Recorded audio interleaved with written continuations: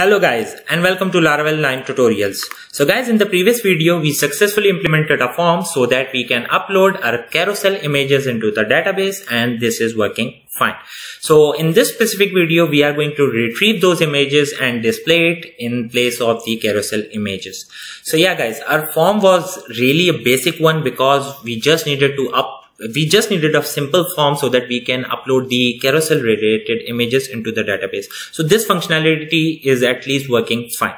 So yeah guys uh, let's move. And first of all what i'm going to do as we discussed that we are going to delete those images because these images are uh, but just for the testing purposes so i just need to delete them. So how can we do that? Simply come to the git bash stop the project php artisan migrate roll back because in this case we don't have much data so I can simply roll back my migrations.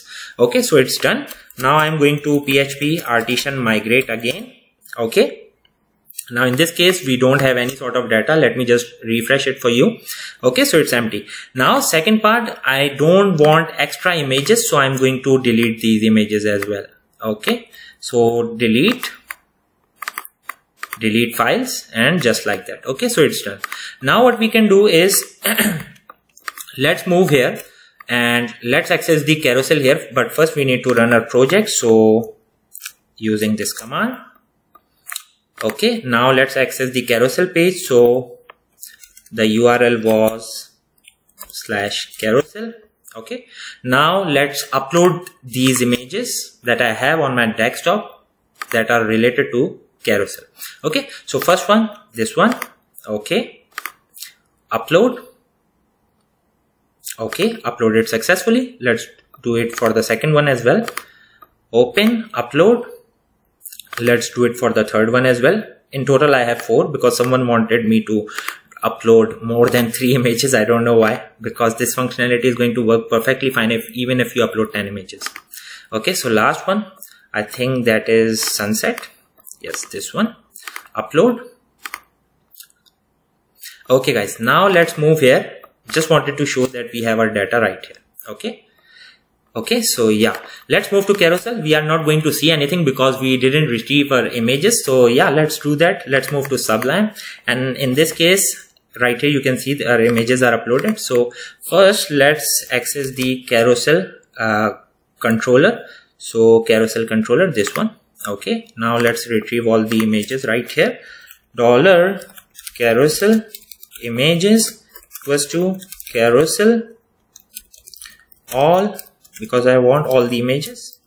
Let's die and dump so that we can make sure that we have our data. On the carousel page let's do a refresh. And right here you can see we have four records. Working perfectly fine. Let's pass these images to to the blade file so that we can loop them. Compact without a dollar sign carousel. Sorry i'm saying without a dollar sign i'm writing it. Sorry for that guys. Okay? Yeah. Now let's move to carousel blade. This one. Okay? And now we just need to retrieve them. So yeah guys let's move here. So in this case we have some dummy data. And in my case we don't need that. Actually right here you can see the class carousel item. So uh, we are going to use only one this one because we are going to use the for loop so we don't need the extra one. So i'm going to remove it. Them sorry because we have multiple. So yeah. Okay now we can simply do is let's put a condition first to make it robust. So dollar if dollar carousel images then you can proceed. Okay at the rate for each dollar carousel images as dollar carousel okay? And first let's close this out. So right here at the rate and for each and if okay? And right here I don't need this image anymore. So let's display our image. So asset and inside public folder we have images folder where we have our carousel related images. So i'm going to put this slash and let's display our image right here. Concatenate dollar carousel image. Okay column name. Just like that let me just show you. In this case we are going to display all the images. I will tell you why. Let's first do a refresh okay so right here you can see first second third fourth.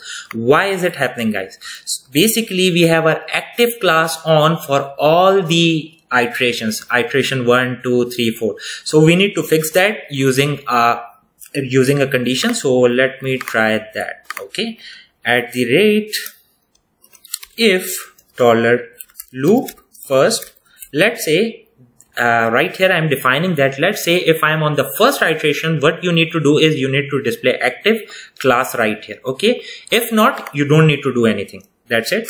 So and if if I'm in the first iteration uh, print the class active just like that. Refresh and right here you can see it's working fine now.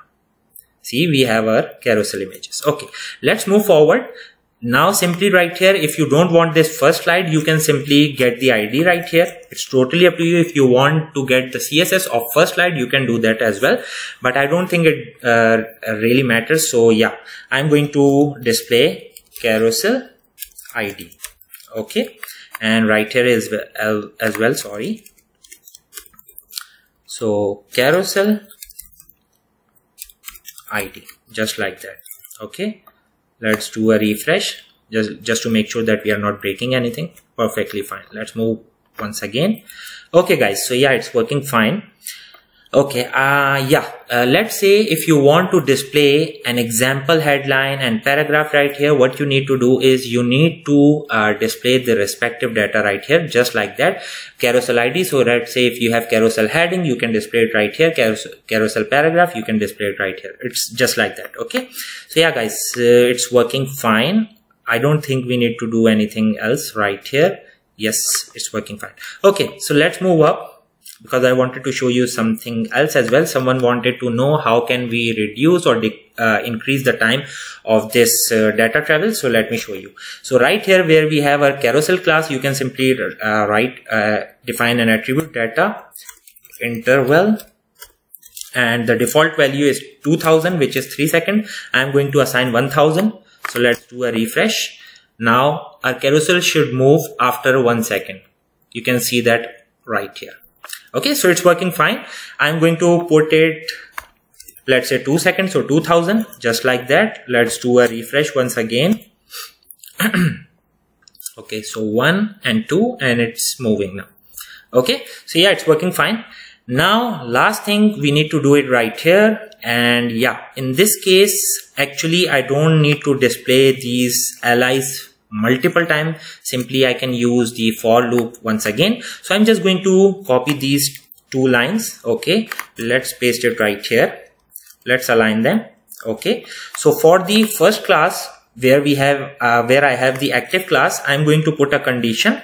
So yeah let's start with that. So if once again same condition dollar loop if it's the first item what you need to do is you need to display this li at the rate else.